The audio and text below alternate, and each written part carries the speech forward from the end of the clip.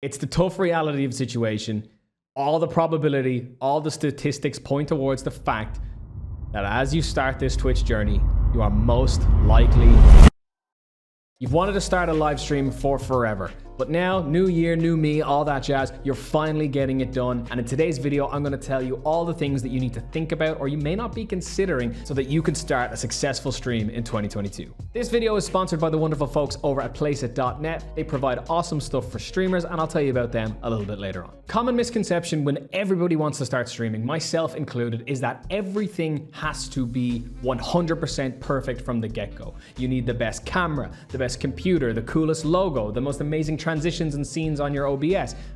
That's not true. What I'd like for you guys to think about is the idea of the MVP, the minimum viable product. The idea behind that is that you should strive to have one really good, solid product or stream in this case that just works. Can we hear you? Can we see you if you're using a camera? And is your gameplay running faster than two frames a second? If you look at day one on my stream versus day 365, the difference is outstanding. However, if I started with everything I had on day 365 on day one, I wouldn't wouldn't learn anything and wouldn't know what's actually beneficial for my stream and my content style. You don't need to start worrying about adding all these bells and whistles straight away and cluttering up something that you haven't perfected. What you really need to consider doing is perfecting what you have before you go and add all these things. Once you have reached a limitation and that's stopping you creating better content, that's when you need to maybe expand on your MVP, right? But you can't just say from day one, oh, well, I've got a Logitech C920 as a webcam and I'm being really limited about that because I don't have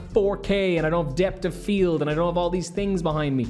That's not a limitation. You having a blurred background isn't stopping you making better content than everybody else. If you're planning on starting to stream in 2022, and let's say your goals are a little bit higher than having some fun, you know, playing games with your friends and having some footage to look back on. Let's say your aspirations are a little bit higher than that. You have to ask yourself from day one, and I'm telling you, if you don't ask yourself this, you will regret it down the line. How much of your resources are you actually willing to put into this? I mean, time energy, money, all these things, what are you willing to put in? Because if you're someone who wants to come on Twitch and start to stream for eight hours a day, 12 hours a day plus, in the hopes that, hey, I'm gonna nail it, I'm on that grind set, I'm just gonna grind my way through it, that is gonna end poorly for you. Streaming for that long is unhealthy for a multitude of reasons. And I know the bigger names in Twitch do that, but just because they do that doesn't mean that you can hop on day one with whatever other responsibilities you have in your life that most likely isn't realistic for 99% of people. It is not the required thing for you to do on this platform to grow. I'm talking about allocating from the very get go a set stream time. I'm gonna stream for this long, this many days a week. Be that an hour every two days or four hours, three days a week. It doesn't really matter as long as you're consistent. What does matter is that you allocate allocate a time that A, you can do. Not everyone can sit there five days a week and stream for 12 hours. It's just not manageable. Time that you can commit to regularly and a time that allows you to manage all your other responsibilities as well. Maybe you're on a break from school or a break from college or you're between jobs. You're not always going to be able to commit that same amount of time. So make sure you decide on something that you can commit that exact same amount of time to. It is far more beneficial for your growth to stream consistently and shortly as opposed to inconsistently for hours at a time. If you are planning as someone who can say, yeah, I can stream for eight hours hours on Twitch. Easy. I've all that energy. I can do that every day. I play video games that long anyway. And if your goal is to grow your channel into something more than just a little hobby, would it not be more beneficial for you to say, right, I'm willing to work for eight hours a day on this. Instead of working for eight hours streaming live, I'm gonna stream for four hours. I'm then gonna spend that other four hours coming up with TikTok ideas, filming and editing those TikTok ideas, making a YouTube video, growing my following on Twitter through engaging tweets, making posts on Instagram. This is the reality, right? These are all the things that you have to basically be doing if you want to grow as a content creator online. So even if you stream for eight hours a day, you're still gonna have to do all this stuff later if you really wanna grow. So now you've gone from working from eight hours and you've accomplished both those goals to streaming for eight hours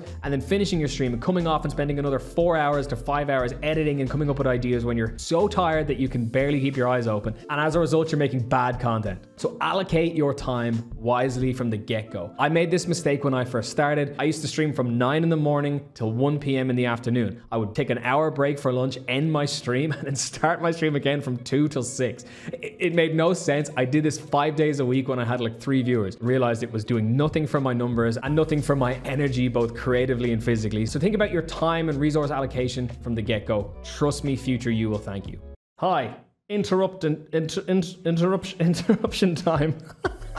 If you're a streamer like me who is not the greatest at graphic design and you know can't do it themselves, Placeit is where you need to go. If you need a logo for your stream, panels, transitions, social media posts that can make your go live tweets or Instagram stories pop, Placeit is where you need to go. You can design all of this stuff and more on Placeit without ever having to leave the platform and it is super super super affordable. They have templates specifically geared towards Twitch and YouTube and live streaming that you can edit and make completely your own. You can upload your own assets into them or even use ones that you've created there on Placeit and download everything once you are done. It's super handy. I use it all the time and I highly recommend checking it out if you are somebody who wants to give your channel or your social medias a design boost in 2022. Big thank you to Placeit again for sponsoring today's video. You can check them out in the link below and you can also save yourself a big discount on the website if you're signing up by using code X2 Shoes at checkout. That's enough for me. Back to the video. Interruption done. Social media. Create it, have it, be on it, use it. Now, I'm not saying that you have to create a Twitter page, a Facebook page, an Instagram page, and be posting on all of them multiple times a day. No, but have at least one or two social medias that you are active on. For like me, I'm extremely active on Twitter. I'm comfortable with Twitter and I use it. I also use Instagram a lot. This is where your target demographic are. This is where you need to advertise and communicate with your viewers and potentially new viewers and other members of your target audience. There's a few things you need to do when you set up a social media as a streamer. Are you going to create a brand new page just for your streams in which all all you do is talk about streaming? Or are you going to take your existing personal social media like I did and rebrand it into more of a content persona? And don't make it just a link dump for your stream. You're sending your Twitch links straight into the ether, right? Make it a personal page to talk to people, to engage with people, to show people some cool videos. I don't know. Use it. It's yours. Do what you like with it, but don't make it a purely advertising platform. And most importantly with this, engage with other streamers. Follow big streamers, follow small streamers, learn the tone of voice, learn how they speak to each other, see what type of content they post, see what does well, see what doesn't do well. Drink it all in. And all of these things by learning this, this is what truly allows you to network with each other. If you're a new streamer, you're going to be hearing that word network thrown around a lot. This isn't just responding to a tweet tweet or jumping in somebody's chat telling somebody, oh, I'm a streamer too, cool. No, it's not. There's a lot more to it, but you can effectively do that if you're not speaking the same language as everyone else. Social media is where you will learn all this. And you learn by doing, by tweeting, by responding to tweets, by reading replies to tweets, by looking at popular Twitter threads, all of these things help for that. Definitely start on social media if you are not already. Watch other streamers, both big and small. You need to be watching people with two viewers and with 200,000 viewers. See what they do. See how they speak to chat. What do they do if there's a break in the conversation? What do they do if they're quiet? What happens when somebody says something bad in chat? How do they entice their viewers to talk? How do they entice their viewers to follow them? All these things are super important. I'm not saying to copy exactly what XQC does on his stream, or don't copy exactly what Ludwig does on his stream, or what Pokimane does on her stream or Emiru or any of these big people, but you can absolutely take influence from how they manage their channels. I watch people who make similar videos to me here on YouTube. I've watched people who make similar content to me on Twitch. Be inspired by these people, don't copy them. A big thing of this is passively watch these people. You don't need to announce that you're a streamer. You don't need to use your own emotes in the chat straight away if you have them. Trust me, do not have an agenda when you do this. Don't have an agenda that like, I'm here to tell people that I'm a streamer so that way they'll come follow me too. Hey, maybe they're a small streamer. Maybe we can support one another. No, it doesn't work like that. You're there to learn. You're there to sit in the back of the class, chat with people, have a good time, but don't go in with an agenda because then you won't pay attention to what you actually need to be learning. And finally, ask yourself who you want to be on the platform. And then ask yourself, what is preventing you from being that person? Is it a lack of time? Is it a lack of trying? Is it a lack of motivation or drive? Do you have tendencies to be lazy? Do you have tendencies to not fully see things through? Identifying the kink in your armor is the first step to fortifying it. You gotta ask yourself who you wanna be. Do you want to be the casual streamer on the platform who builds a small, happy community and is happy with that? Or do you have aspirations to be something bigger? And if so, you got to ask yourself, right, how do I get there? And the answer to that question, the how, isn't going to just pop into your brain after you watch this video. Unfortunately, I can't give you the answer to that question. But I can give you this if you stick to your guns, if you really develop as a streamer and as an entertainer and as a content creator, becoming a better commentator, becoming a better talker, becoming more creative and original with your ideas, which are all skills you can practice, by the way, doing all those things and growing as that person will help you answer that question. It's not going to happen overnight, but it will happen. It's the tough reality of the situation. All the probability, all the statistics point towards the fact that as you start this Twitch journey, you are most likely going to fail.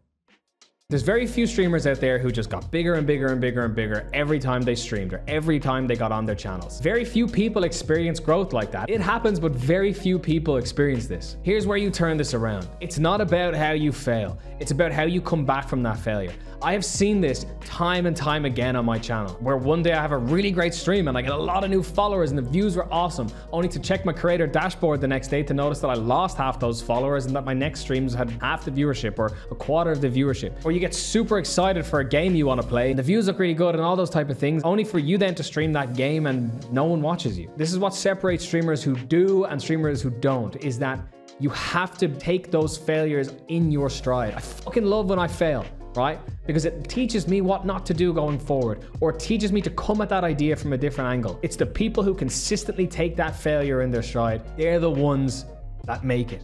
Prove me wrong. Write it down on a piece of paper, put it in a notebook, and look at it in a year's time and comment on this video and tell me, yeah, you were wrong, Dan. I made it on Twitch. Every one of you can do well on this platform, but not all of you will be able to push yourself to do that. So which one are you going to be? If you're starting a Twitch stream this year, let me know what your plans are down below for your growth. And if you've been streaming for a while, let me know what you've learned down below as well. And if you enjoyed today's video, please do consider subscribing. Super close to 10K here on the channel, which is amazing. Also, a massive happy new year to all of you. I can't wait to see what you all do in 2022. And thank you for being such an amazing part of this community and supporting me here on the channel. Leave a like on the video as well if you thought it was informative. And you can catch me live on twitch.tv forward slash x2shoes four days a week, five days a week, four or five other links to support me down below, such as Patreon and the like. Check it out if that's your thing. Big thank you to all my patrons this month. Here is their names.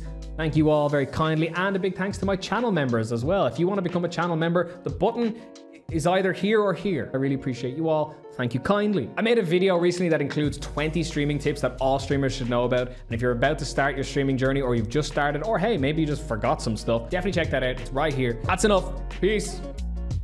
Going over here. Tangled in my headphones. Bye.